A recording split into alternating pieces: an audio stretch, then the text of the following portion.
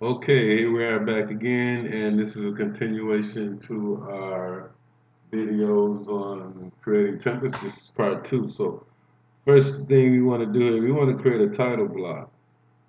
So we're going to go to our application menu, go to new, and go to title block. Okay, in this selection, we're going to use a 36 by 24 I need you to create the 11, these other two for practice, but let's just use this one for reference. We'll pick OK. Okay, now we're in this family, and the first thing we want to do is we want to select the um, the line command.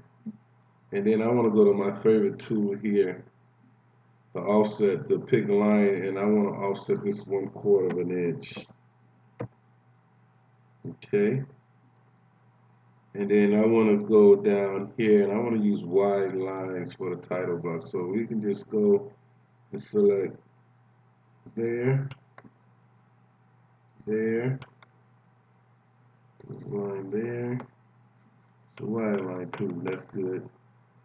There's a line there. So then we go and clean this up.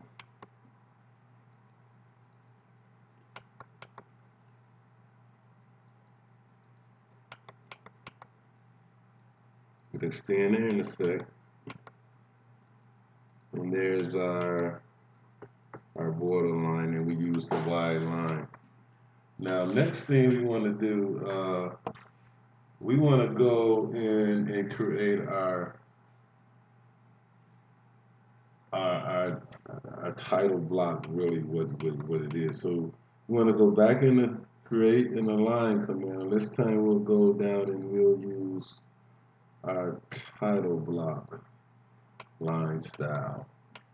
Now here what we want to do, we want to go in and let's just do this. I think for us, we want to go here maybe, let's say three inches here. Maybe we want to go up uh, see, let's see, let's go three inches here. three inches there. And come across like so. Okay. Looking pretty good there. Then the next thing we want to do here to get this thing going here, I think we want to create another line. Let's just make sure we got enough space here. We've got, uh, let's see what this distance is. This is just for me using this, but I think, uh, let's see, yeah, we can stick with 350, that's good. Now up here, we want to take, we're going to create line, and let's go down about a half an inch, yep. there. And then here, let's go down about an inch.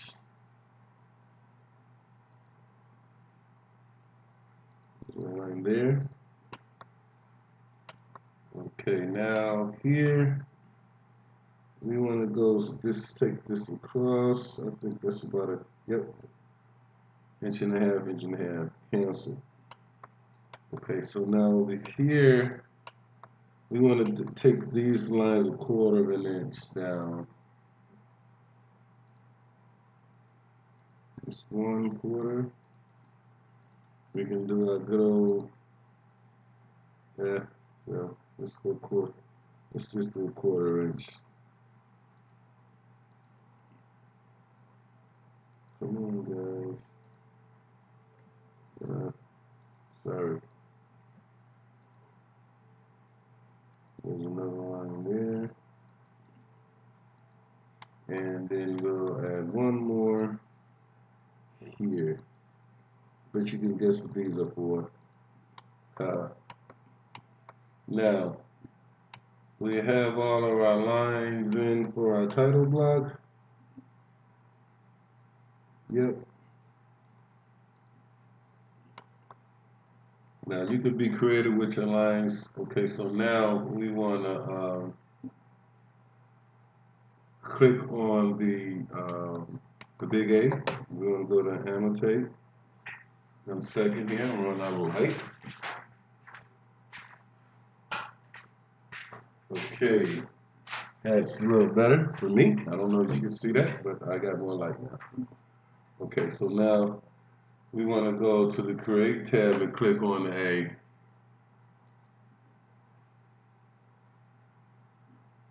Okay. Now here, we want to edit type. Now we did this in the last exercise for our template, and we want to do it again because this is another family. So we want to type first, we want to duplicate,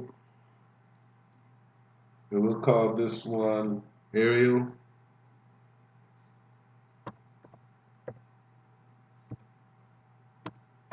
One sixteenth of an inch. Uh, OK. We'll change this to, we'll have a of Arial. We'll change the size to 1 16th. And we'll say we don't want this bold. And we want our background to be transparent.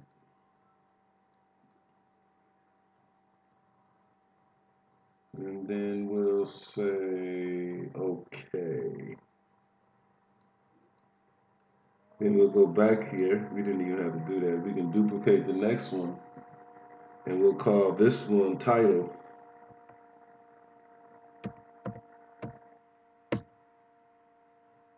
And we'll use, um, we'll go OK. Now the font we'll use, let's go with something different. Let's go with Calibri, just for the hell of it. Or, let me just C-A-L. Calibri. Okay. And then here for our title, we want this to be one inch. I'm going to make the text size one full inch.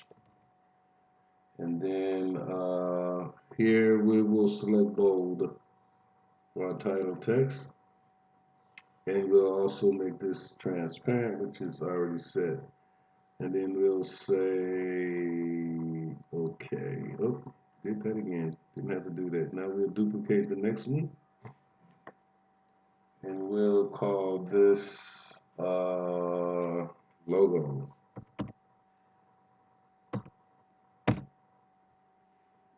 Click OK. There's our new type at the top. Our font will be, let's go to Arial. I just stick with Arial. That's that, that font seems to work well in Revit for some reason. So let's just stick with Arial. And then we'll go uh, make this size a quarter of an inch. Mm -hmm. And then we'll go make this bold as well. And we'll say background is transparent and we'll click both. So we have three new fonts here and then we'll click OK. Now we're going to start using this new uh, um, function here that we haven't used before. So we're going to create tab. This time we want to click on label. Okay. And then in the label properties, we gotta click on label. Yep. And here the, the type properties, we want to, let's see, we should have our fonts there. -oh. I'm sorry. I'm gonna go here, properties, type. Okay, we need to create these. So we go back into create. I'm gonna the label. And then we want to edit these label, label types. So we'll go duplicate. And we'll call this, uh, we'll call this Arial 1 8 of an inch.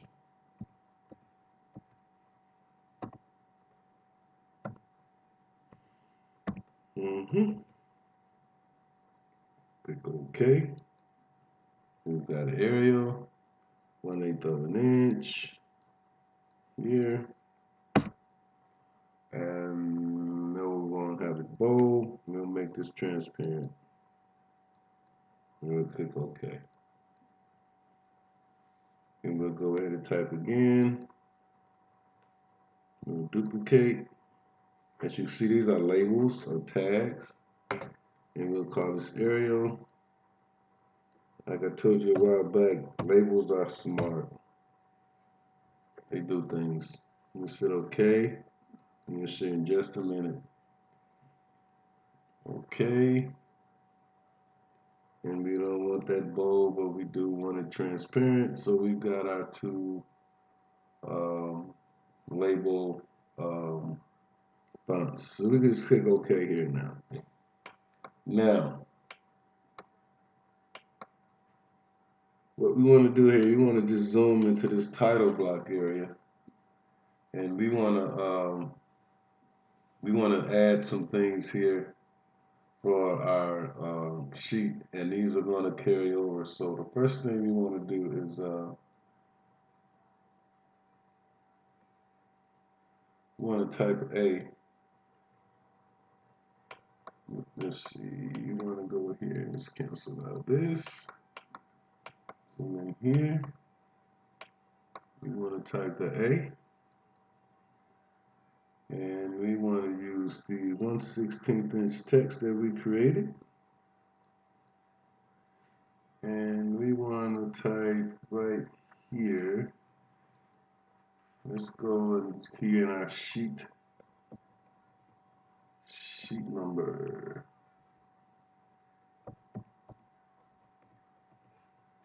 Okay that's good. Let's just sort of Okay, cancel that and move him up a little bit.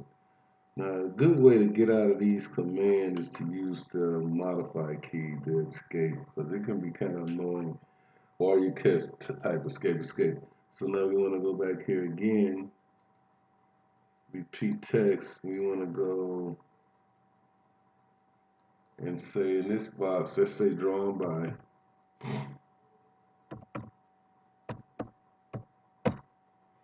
I create one of these for each discipline or each sheet just for practice. Now I did that again. So we're going to hit modify. And then I'm going to go here create.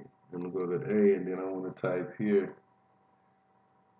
project and our 1 16th inch text that we created. We're going to get out of that guy. And then up above here, we'll just punch in create the text and it'll say date. Okay. So now we have our our date, sheet number, product name, and everything there. So next we want to start using a label we want to click on label now. Let's start using our labels. We click on label and we'll use the Arial one quarter of an inch and we'll just align this to center justification here. Okay. And we'll go here and we'll put our, let me see, what will be first here? Let's go to our sheet name and it'll be right up here. Now here what happens is you'll see this dialog box open up and you'll go down to sheet name. Uh, there it is, sheet name, and just push it over here and click OK. And there's our sheet name. Now next we want to do is uh, go here and create another label. I think this size, what size do you think you want to use this one? Do you want to go to one inch? or the quarter inch as well. I think we'll stick with uh, I think this should have been probably one inch. But you see what I'm getting at here?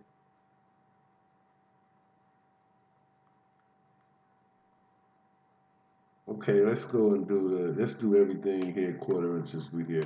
So next thing we want to do here, we have our sheet name, then let's go and create another label and select it here align and we want to call this our project name so we'll go down and we'll find project name and slide it over.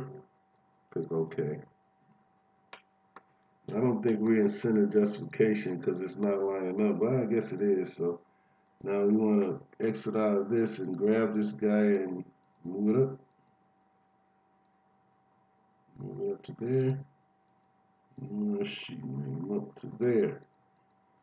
Okay, we're moving right along here. Next, we want to go and place our project address. So for the project address, I think we can drop this guy down to about an eighth of an inch. Let me move this up a little bit. So let's go create another label. Select here, we have this lined up, and we'll find project address. Just it over. Click OK. Uh, actually, we want this smaller, so let's undo this. Cancel. Sorry. I'm going to undo this, and we want to change our font to 1 8 of an inch. And then we want to go and create another label, and we'll select it here, and we'll go down to project address, because this this will probably be more than a few lines. It might be two or three lines. So it again. I'm sorry, guys. I think what happened here, let's go back and fix this guy. You know what happened, don't you? Let me fix this right quick. Edit type.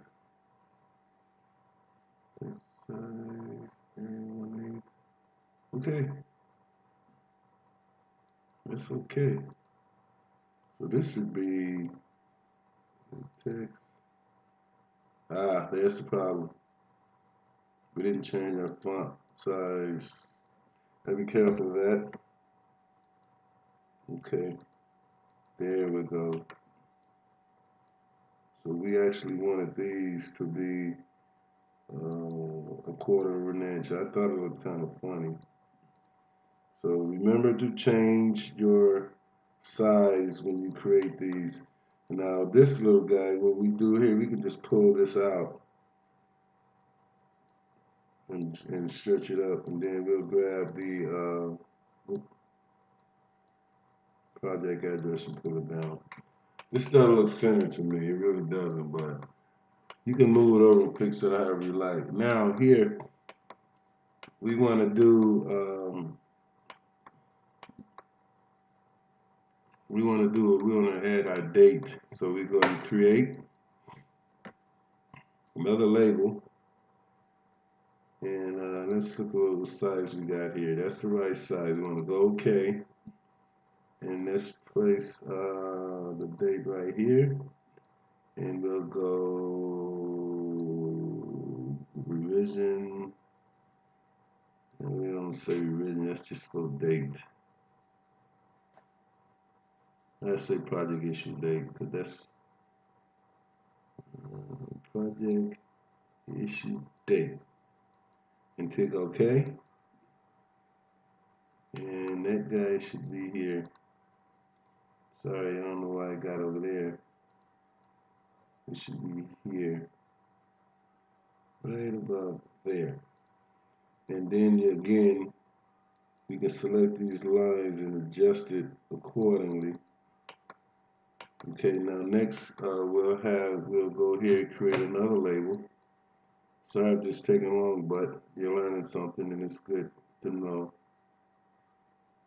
I don't have justification right, I should have had it here. Uh, that we're looking for now, project. That project number. We go down into our project number and select it over, hit OK. And then we want to move our project number into place.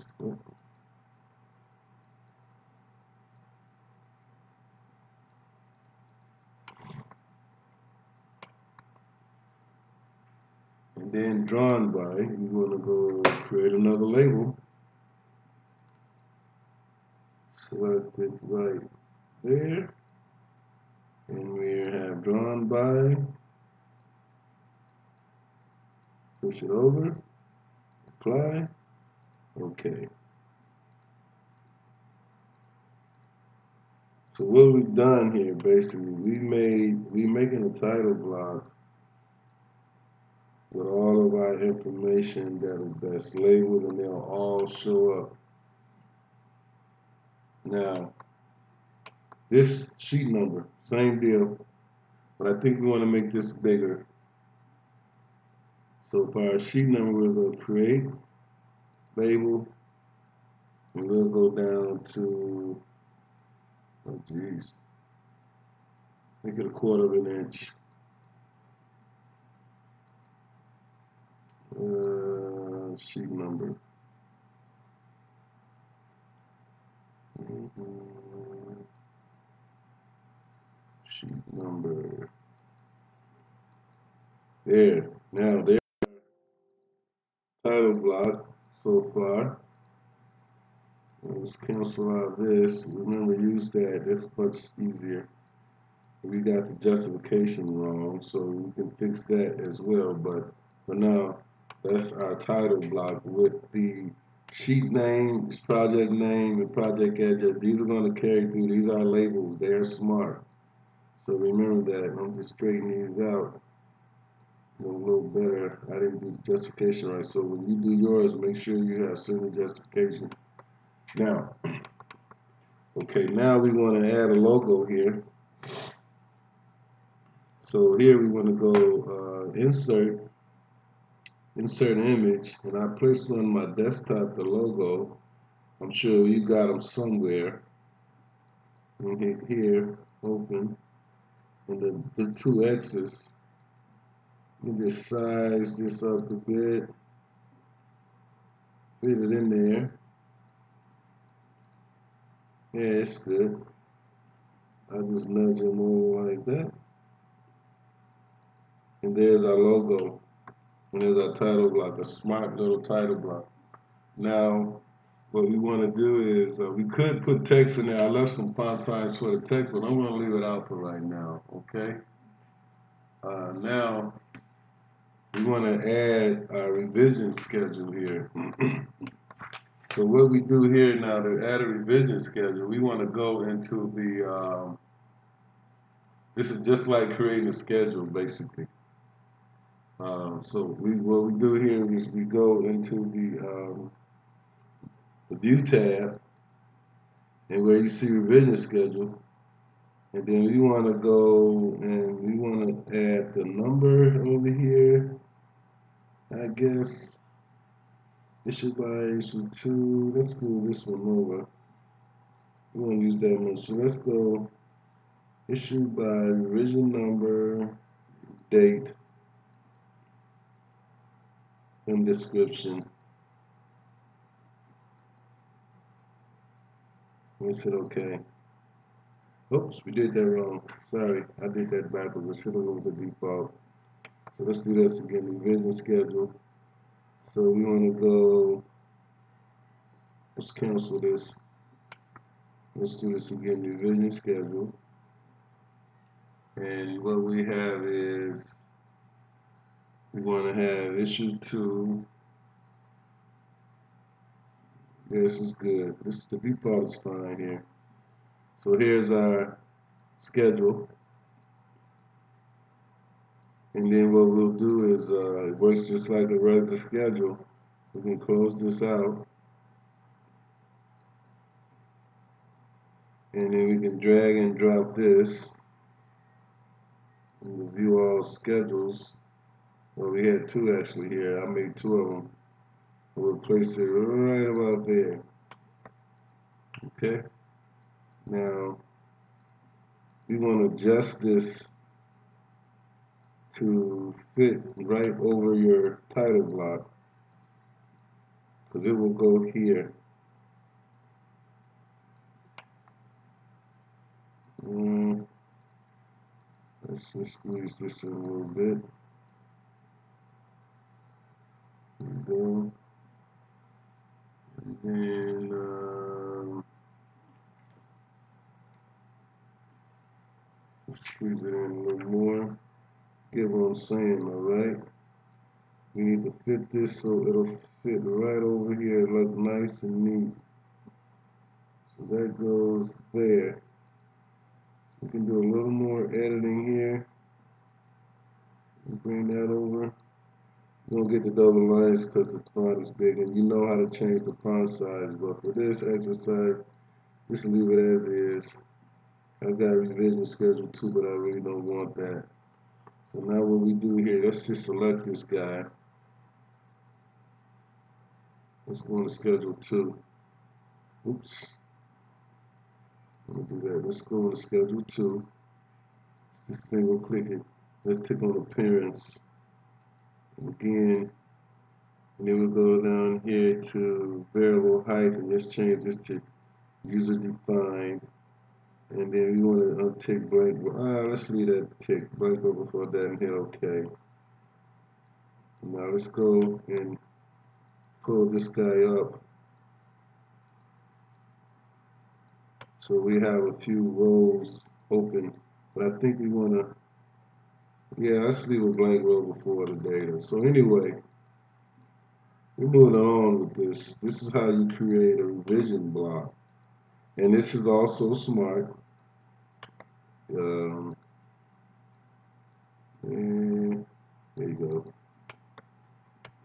So create me a title block here, the revision block, name, join name, and everything. I think I want to do something here. I want to edit this appearance and I want to remove this blank row. Okay, there. Move that over a little bit more. Now, that's a title block. That's how you would create your own title block in Revit. Uh, let's get this over a bit more.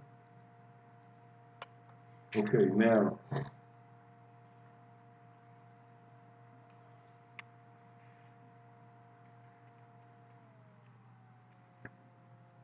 Okay, now the sheet, is, this is all done now. So review this, go in, create your fonts, create your labels, learn how to use the labels, and then we'll go on and we'll see how these labels work. These labels are smart, they carry onto each sheet. So make a title block for, you know, the Unistrut, the Calbright, I mean, make them all. I'll show you later how to make uh, different uh, one for different uh, logos for different sheets, but this is going to be the biggest sheet, and we'll make our smaller sheets uh, as we go. So anyway, thanks for watching this video, all of you non-trainee people out there who's learning off my videos. if you like it, subscribe or like this video. Anyway, thanks for watching, and have a great night. Bye.